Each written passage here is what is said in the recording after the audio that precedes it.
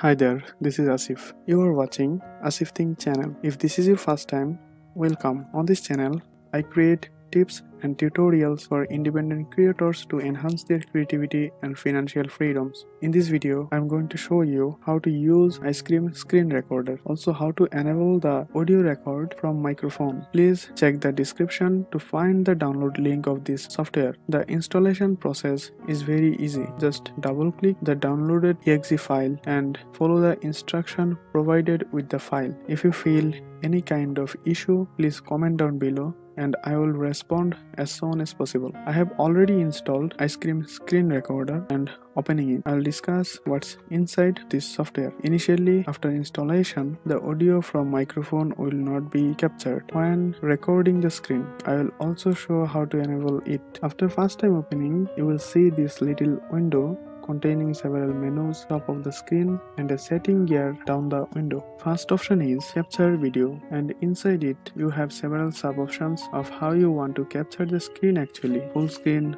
or custom etc. Once you open the full screen you will customize the screen size. If you click full screen mode the entire display will be marked as a little square or indicate to resize the screen just to click on little square and move as you want. You can move the selected area by clicking on this icon. Remember, only the selected screen will be recorded not outside the marked region. If you want to enable your webcam, just click on this icon. Also, from here you can control the media, audio, volume and microphone on off. Initially this microphone option will be disabled. I will show how to enable it within short time. Before going to the process, I would like to say one thing. If it helps you, please hit the thumbs up button because it really inspires me to make this kind of videos. Also comment down below if you face any kind of difficulties. So let's go to the topic again.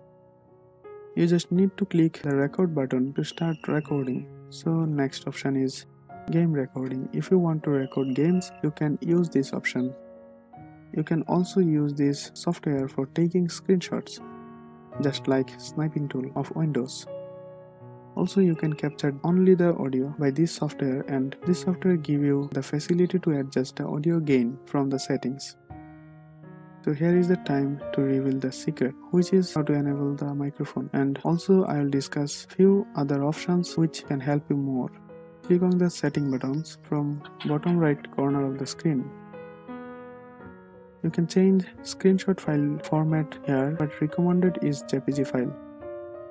Also you are free to select language whatever they are offering. In this save to menu, you will find the location of files of video and screenshot. You can change the location by clicking this icon. You can also customize the video related things you can upload an own image to the capture video as custom watermark. Icecream Screen Recorder support almost all format of images as a watermark. The maximum size is 300 into 300 pixel. The minimum size is 30 into 30 pixels. If you don't want to add any watermark, just unmark this box. Click the audio section and if you want to record the audio from your microphone just enable this box. Make sure this box is also enabled and click on the save settings. Now the audio will be recorded. In my case, it works and I am also hopeful for your purpose. So I hope you find this helpful. Welcome to my channel. If you haven't subscribed, please hit the subscribe button and I'll see you in the next one.